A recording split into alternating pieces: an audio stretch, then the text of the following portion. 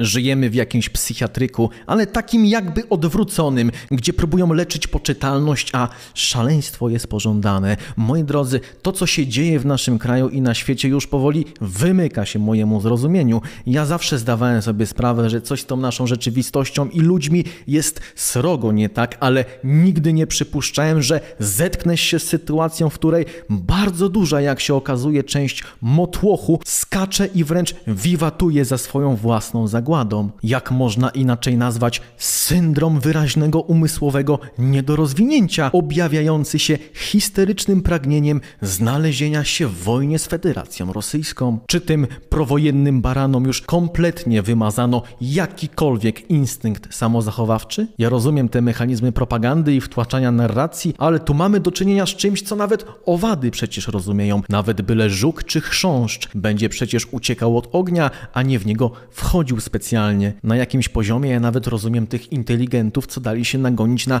porcję berbeluchy w rączkę, bo było to robione pod pretekstem uchronienia się od niebezpieczeństwa. To, że prawdziwym zagrożeniem okazało się rzekome panaceum, to już jest nieistotne. Teraz pod pretekstem bezpieczeństwa wmawia się nam jednak wojnę. Mamy iść na nią, żeby jej uniknąć. Jak widzicie, jest subtelna różnica pomiędzy poziomem bezczelności jednej propagandy a drugiej. Jeśli chodzi o ten amok wojenny, to mamy do czynienia z czymś tak absurdalnym, że ja po prostu nie dowierzam w to, co widzę i słyszę. Przepala mi to kable we łbie. Wtłoczyli je łopom, że mamy iść na wojnę, żeby nie było wojny. Do tego się ta narracja obecna sprowadza. Żeby Rosja nas nie zaatakowała, to musimy ją zaatakować pierwsi. Albo wysłać nasze wojsko na Ukrainę, co będzie tak samo zinterpretowane przez Rosjan. Przecież jak Rosję zaatakujemy, to już na pewno w odwecie ona nas zaatakuje. Logika mniej więcej taka sama jak w sytuacji, w której jest jakieś prawdopodobieństwo, że stracimy rękę. Nie wiemy tego na pewno, ale jakieś ryzyko jest, to żeby uniknąć tego prawdopodobieństwa, centralnie amputujemy sobie kończynę sami. Ja rozumiem budowanie armii, zbrojenie się przed potencjalnym zagrożeniem, które nie wiadomo czy wystąpi. No ale wystąpić może. Jak to mówią, przezorny zawsze ubezpieczony. Natomiast tutaj nagania się nas, żebyśmy nie czekali, tylko sami doprowadzili do sytuacji, w której to zagrożenie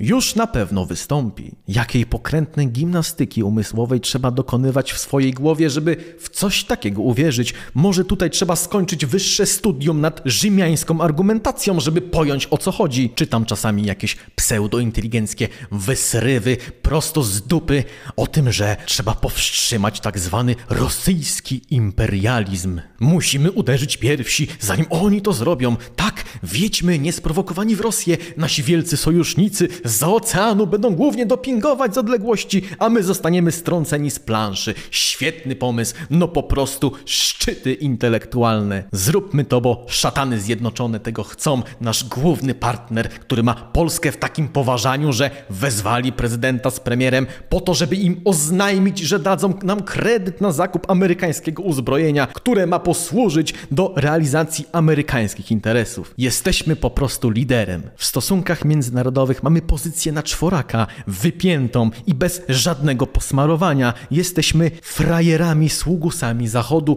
i jeszcze jeszcze takiego jednego tworu położonego obok Egiptu. Mamy państwo z kartonu i aktorów w zarządzie, na czele którego stoi jego ekscelencja Andrzej, któremu łaskawie pozwolono zrobić konferencję prasową na podjeździe dla samochodów przy Białym Domu. Znajdując się w takiej prestiżowej pozycji na arenie międzynarodowej, jesteśmy popychani do włączenia się w wojnę. Na pewno chodzi o nasze dobro i bezpieczeństwo. Na pewno zyskamy na tym, że głowa mała. Ta szaleńcza nienawiść do Rosji też jest ciekawa. Z doświadczenia wiemy, że jeśli chodzi o narrację, która jest nam serwowana, to przeważnie trzeba traktować wszystko odwrotnie. Coś, co nam zaszkodzi, będzie wciskane jako zbawienne, coś pozytywnego będzie przedstawiane negatywnie. I tak się zastanawiam, czym Putin musiał podpaść rzymiaństwu, że wywołano taki kwik i jazgot. Co on takiego zrobił, że taka nienawiść się pojawiła? Bądźmy szczerzy, naszych rządzących i media nie obchodzą losy Ukrainy same w sobie. Tu chodzi o jakieś interesy. Gdyby rozchodziło się o cnoty moralne, to jeszcze większy krzyk by się rozchodził w kwestii tego, co Rzymianie robią w tej drugiej wojnie, która się toczy jednocześnie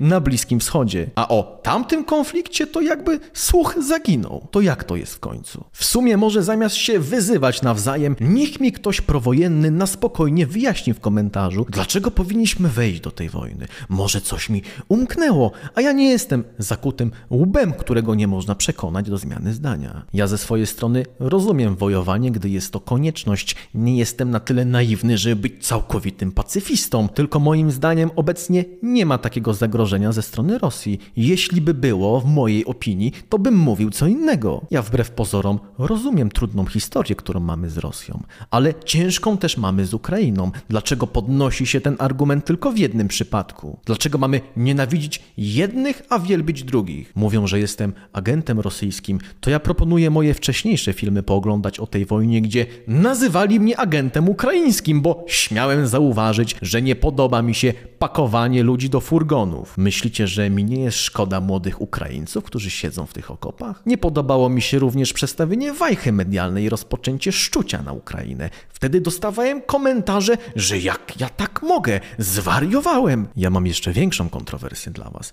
Ja uważam, że my jesteśmy wszyscy Słowianami i bez pokrętnych pośredników, głównie rzymiańskich oraz dziwnych ideologii, to myślę, że byśmy byli się w stanie wszyscy dogadać. Polacy, Ukraińcy oraz Rosjanie. Kiedyś się uczyłem rosyjskiego, znam paru Rosjan, ale mam też przyjaciółkę Ukrainkę. To czyim agentem teraz zostałem? Powiem dalej, ja nawet personalnie nie mam nic do rzymiaństwa. Gdybym poznał kogoś osobiście i dowiedział się, że ta druga osoba ma takie pochodzenie, to przecież bym nie miał z tym żadnego problemu. To, co mi się nie podoba, to absurdalnie duże wpływy rzymiańskie w tym kraju i globalnie, a także specjalne traktowanie oraz status ofiary, którym się ta nacja posługuje. Jaką oni są ofiarą, jak kręcą całą planetą. Gdybym był Rzymianinem, to bym z przyjemnością słuchał moich tekstów. Przecież ja z nich robię władców ziemi oraz nadaję taką sprawczość, że to aż czasami podchodzi pod absurd. Po części jestem winny pewnego sposobu, w jaki jest postrzegana moja osoba. Stosuję dużo uproszczeń i pomijam pewne niuanse, które są dla mnie oczywiste, a dla wielu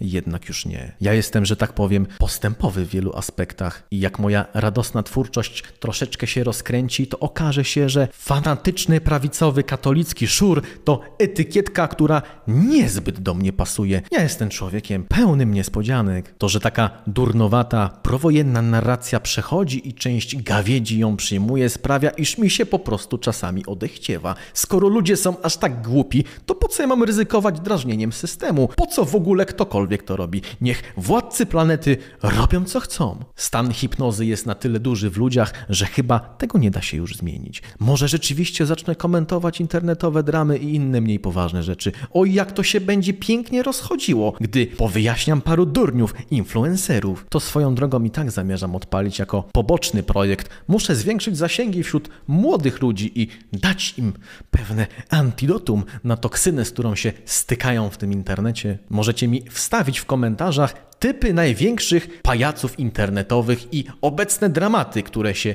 dzieją wśród tych wielkich celebrytów. Lubię sobie robić jajca jako dodatkowy content. Może zacznę coś takiego jeszcze trzepać.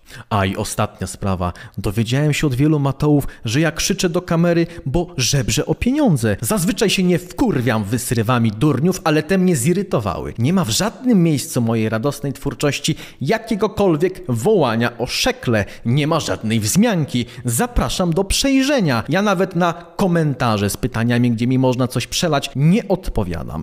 Miałem tylko jeden, jeden link w opisie mojego profilu na Twitterze do strony, gdzie można było mi coś symbolicznie wysłać. Proszę Państwa, do tej pory całe 140 zł mi wpadło. Niesamowita suma, tylko dla niej ryzykuję więzieniem oraz kurwa sądami za publiczne głoszenie moich poglądów. Ale widzę, że taka postawa jest jak rzucanie pereł przed świnie. Nikt tego nie docenia, a jeszcze słyszę, że jestem żebrakiem. Nie chciałem kompromitować mego przekazu naganianiem na hajs, gdyż mam swoją pracę, ale okej, okay, skoro i tak zostałem żebrakiem, to będę jak ten dziad proszalny pod Biedronką z kubeczkiem i wielkim kartonem na którym jest napisane Day, Day, Day. Tu jest link do strony z donatami. Jasno i wyraźnie. Wyskakujcie z kasy, dawać hajs, daniny. Mam chorą córkę, zbieram na PlayStation. Mam 8 nowotworów z 30 przerzutami. Dawać siano na leczenie. Mam hodowlę ślimaków. Dajcie pieniądz na farbki do muszelek. Zbieram na tacę na remont dachu w kościele. Dejta też na alby dla ministrantów. Robić przelewy tutaj, teraz, zaraz. Nie wahać się. Żyję tylko dla pieniędzy. Wszystko wyślę głodnym dzieciom w Afryce. Trochę też pójdzie na konserwację piasku na Saharze. Siano, dolary, złotówki, szekle, ruble, złoto, srebro, platyna, płatność w każdej formie. Robić kurwa przelewy. Kupię sobie za to czysty koks i ściągnę nosem. Może teraz w każdym filmiku będę poświęcał połowę czasu na wymienienie wszystkich rozmaitych form wsparcia. Odpalę również reklamy i będzie ich kurwa 80 na jeden film. W ogóle za obejrzenie każdego wideo 500 zł na konto. Za przywilej napisania komentarza 12,50. Danie lajka 2 zł. Przyjmuję również samochody, jachty, mieszkania, sprzęt AGD i RTV, gry na PlayStation, trufle kurwa, a nawet płatności w naturze, jak się jakaś chętna młoda dama znajdzie. Tylko taka najlepiej bez chorób wenerycznych. A w odpowiedzi na to pieprzenie o mojej rzekomej rosyjskiej agenturze, to w końcu się wkurwię na tyle, że złożę wniosek o wizę do Rosji i udam się nagrać filmik centralnie kurwa w Moskwie. W sumie zawsze chciałem zwiedzić, więc dwie pieczenie na jednym ogniu.